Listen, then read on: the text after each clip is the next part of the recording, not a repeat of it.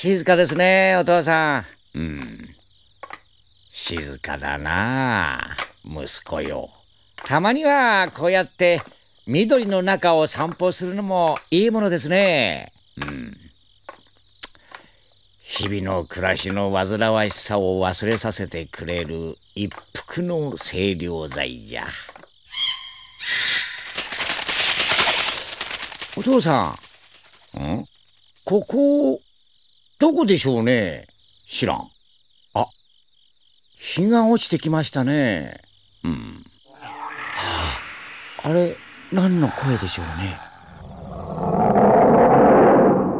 お前さん！助けてくれたまえ連続ラジオドラマ「天地無用」第9話「離島の交番駐在機」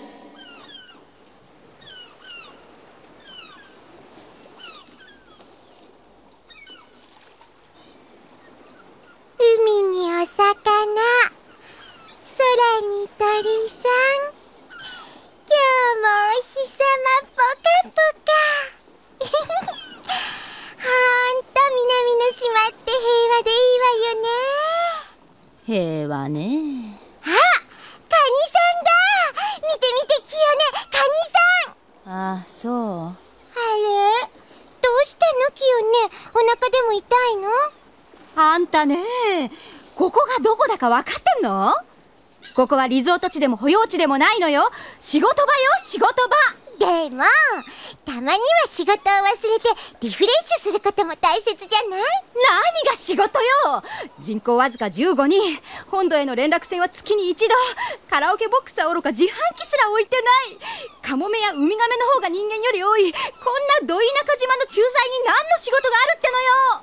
えー、っと雨どいの修理でしょ？網の繕いでしょ？あそうそう。こないだ迷子の猫探したっけ？警察の仕事よ警察の。そうかな。私結構楽しいよ。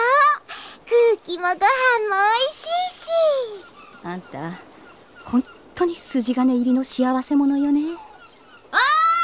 お二人さん！あ和州さん！なんでまたこんな偏僻な場所に？うーん実はちょっと落とし物しちゃってさ。ここでですか？でお財布ですか？それとも免許証か何か？半部室爆弾。はいはい。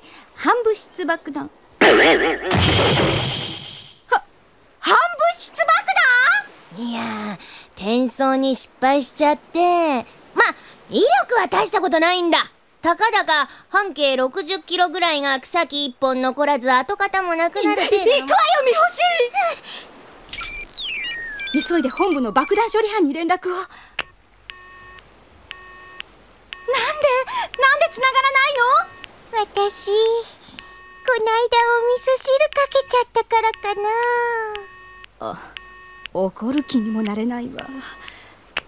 一か八かこの島の電話を使うしかないわ。はいはい、こちら交換手。無用島駐在の清音です今から言う番号に大至急つないでください。はい。どちらさんで？ですから駐在の清音です。あ、そうだいですか。あたしゃインゲンとかぼちゃが好きでね。え、え駐在です。駐在。駐在の清音です。あ、およねさんですか？清音です。清水寺の清に音色の音。清水寺。はいはい。昔じいさんとね、行きましたよ。だから！あんときゃ、あたしゃ十八番茶も出ばな、じいさん二十歳でおむこ入り。こうなったら私たちで何とかするしかないわ。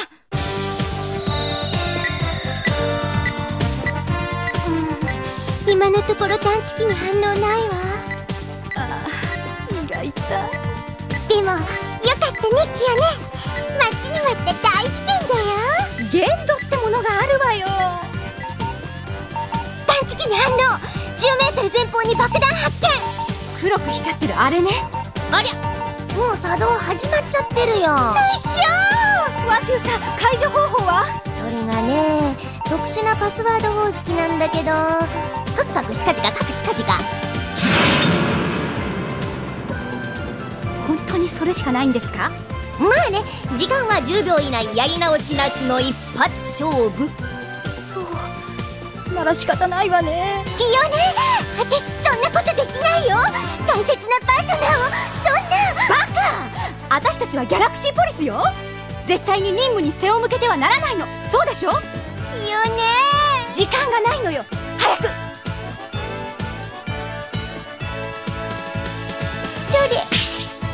とよいしょ。もっと強く死にたいの？えい。強くっつってんでしょ？いや気合い入れなさいよ。恥さらしの無能ゲジゲジ脳みその大トロ女。でも。モルダイバー見せないわよ。や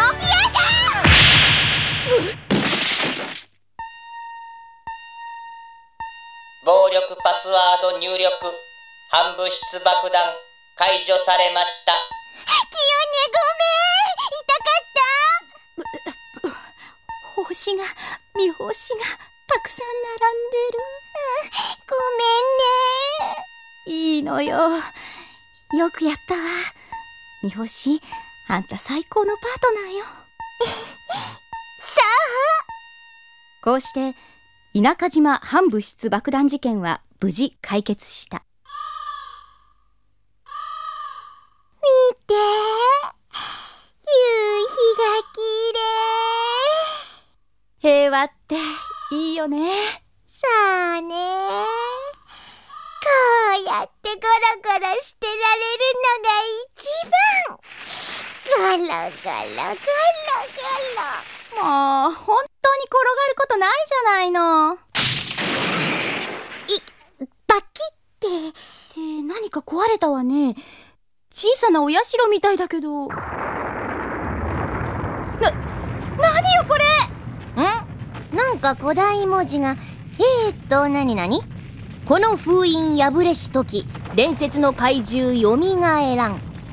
あーらら。